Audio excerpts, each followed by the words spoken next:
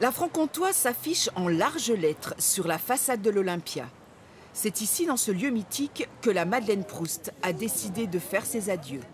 Son public n'aurait pour rien au monde manqué ce dernier rendez-vous. On était venu la voir à ses débuts euh, dans sa carrière, euh, enfin, notamment à Paris, donc euh, on boucle la boucle. Je suis déjà venue, elle était là en 86 à Paris, je crois, et j'étais venue à son spectacle. Je viens de, à côté de Vesoul, entre Vesoul et Besançon. Et puis on a déjà vu le spectacle plusieurs fois. Alors on est là pour la soutenir, pas qu'elle soit trop perdue à Paris. C'est une salle comble qui retrouve la Madeleine Proust, avec sa blouse à fleurs, seule dans sa cuisine.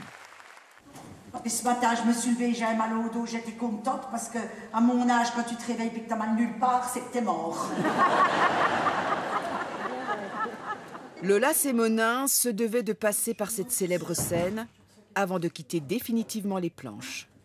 Là, je me suis dit, il faut que je joue à Paris parce que les fans de toute la France, de la Belgique, euh, il faut qu'ils puissent venir à un endroit euh, qui est euh, aussi un endroit mythique.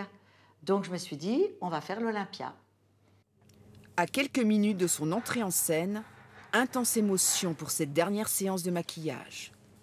Mais comme toujours, la bonne humeur de la Madeleine reprend le dessus. Un peu le trac quand même. Oh bah pourquoi? Bah, c'est des Parisiens quand même. bah, Des Parisiens, bah, nous on n'a peur de personne. Et puis ma maman m'a toujours dit, hein, on les vaut bien ces gens-là. hein.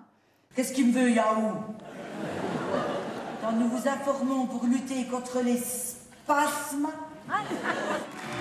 Fin du spectacle et ultime entrechat avec sa fameuse blouse, celle qui l'a accompagnée pendant 35 ans. merci pour ces tonnes de rires que vous avez déversées sur ma route et que eux aussi, je les entendrai jusqu'après ma mort.